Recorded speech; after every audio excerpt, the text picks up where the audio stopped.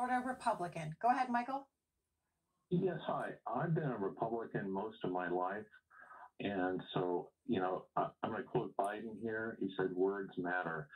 If we go for insurrection, it will be a disaster for both parties because we are right now, well, let me get back to words matter. Um, we all know what we've heard herd immunity. We hear it daily. For, we're bombarded by it. When you add the word natural, and sometimes people use both words interchangeably, they're not. Natural herd immunity means you let uh, usually an animal uh, experience the disease until uh, a certain number die. When you apply that to humans as public policy, it is the textbook dictionary definition of genocide. We're experiencing right now the first 21st century genocide. And we are all blind to it because we're all implicit. We don't, because we'd all have to admit, yeah, we just sat here and watched it happen and did nothing. And that doesn't jive with us. We all know we're good on both sides. You know, we've patriots on both sides. And but the real thing is sitting right in front of us. We need that second impeachment article to address this because it's a trial. We forget everyone's looking for the quick, fast, easy thing.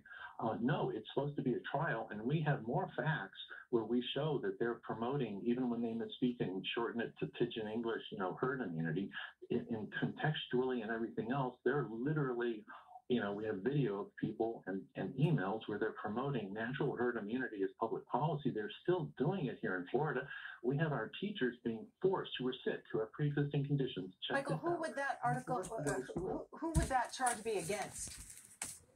Well, you know, uh, you know, it's such a genocide. I think it should be a general thing. It's crimes against humanity. Okay. Because there's also Nicholas Fandos. Let me ask you: What is Congress working on this week or in the coming weeks in response to the pandemic. Right. So the observation I would make about this is the, the House chose to have a, a very narrow case around this insurrection because they thought it was, um, you know, the, the, cleanest and more most for, forceful case they could make that might win Republican support.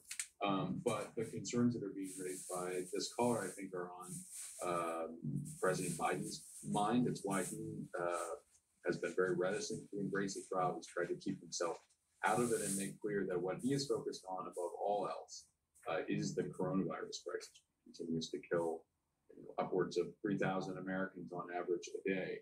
Um, and so uh, he's been rolling out a series of executive orders, um, putting in place uh, new mandates or health responses. Uh, and he's pushing Congress to start moving quickly, including during this um, reprieve before the trial begins to start moving uh, a a two trillion dollar um, economic and health relief bill that includes money for vaccine distribution, uh, money for states for Americans who are struggling uh, as the economy suffers because of the virus. So that is um, his leading priority, and there are some important decisions that he's going to have to make uh, in